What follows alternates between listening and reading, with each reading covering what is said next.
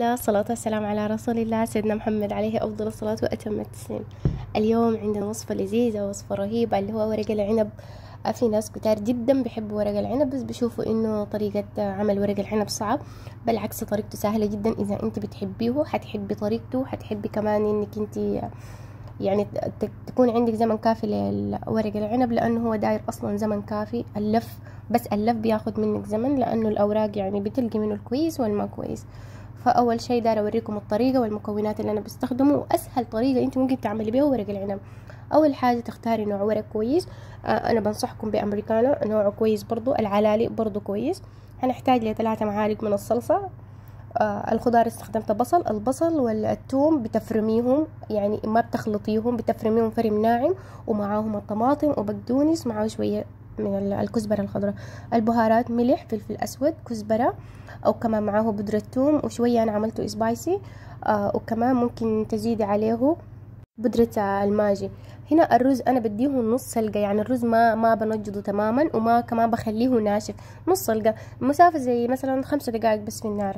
بعدها نزلت عليه بالبهارات لخبطته كويس بعدين نزلت عليه بالبهارات بالخضار عفوا. هنا حسيت إنه الصحن البول اللي أنا خدت فيه الحاجات دي ضيقة فوسعته في في الطاول أصلا أنا عملت به الرز عشان ما أكتر على روحي الحاجات يعني العدة. بس ده كان الطعم هنا خرافي. انت ممكن تكتفي بيه كده وتاكليه من كتر ما ريحته حلوة وريحة البهارات وريحة الخضار. ده أسهل طريقة انت ممكن تعملي بيه المحشي.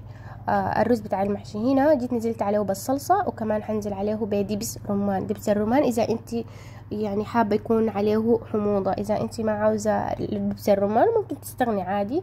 تكتفي بالحاجات دي. وبعدين آه شوية زيت زيتون زي ثلاثة معالق من زيت الزيتون. حتلخبطيهم كويس. لحد ما يزبط معاكي. الطعم رهيب النكهة خرافية. أنا الوصفة يعني الرز ده بخليكم يعني ممكن أبصم لكم بالعشرة إنكم أنتوا تعتمدوه في ورق العنب ممكن تعتمديه في المح... باقي المحاشي من غير من غير دبس رمان طبعا.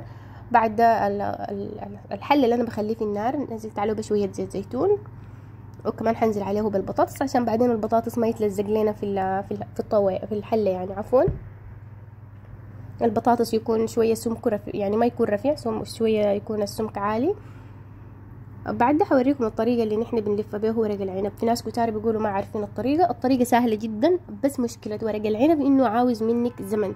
يعني تكوني مخلصة كل أمورك عشان تفضي ليه.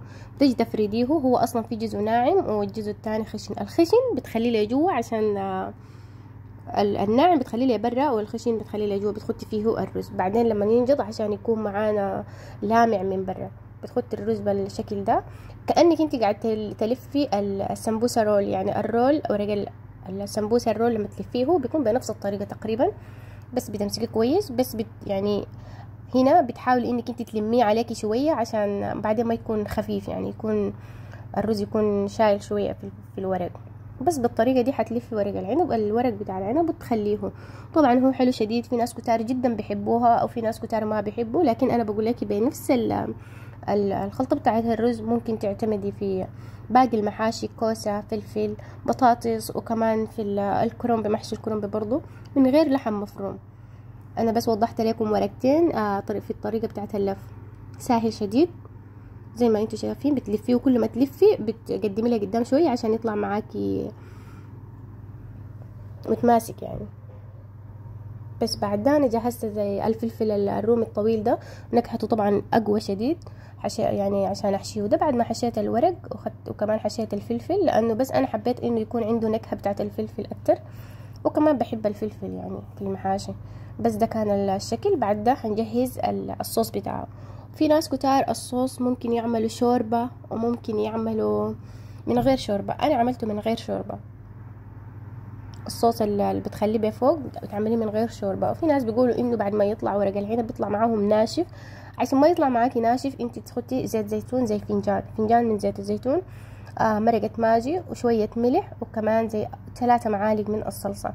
بعد ده حتحطي عليه دبس رمان إذا عاوزة تحطي آه ليمون ممكن. بعد ده بتنزلي على الحلة وبتخليه في النار. قبل ما ترفعيه في النار لازم تكون عندك صحن يكون أصغر من الحلة عشان بعدين ما يتفتفت لنا الورق بعدين في النار ما يتفتفت معاكي.